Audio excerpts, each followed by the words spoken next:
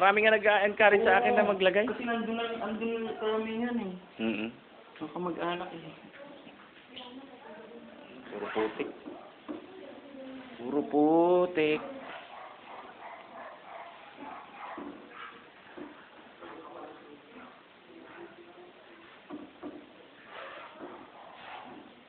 Puro putik.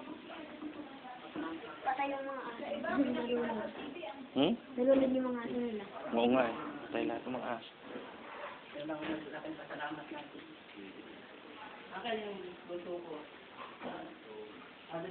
Dati doon, naglalaro nga.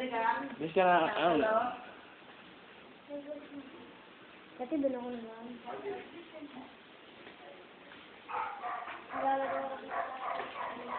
Naku, look at Uncle Eric. Oh, yung may itsura naman. Oh, my God.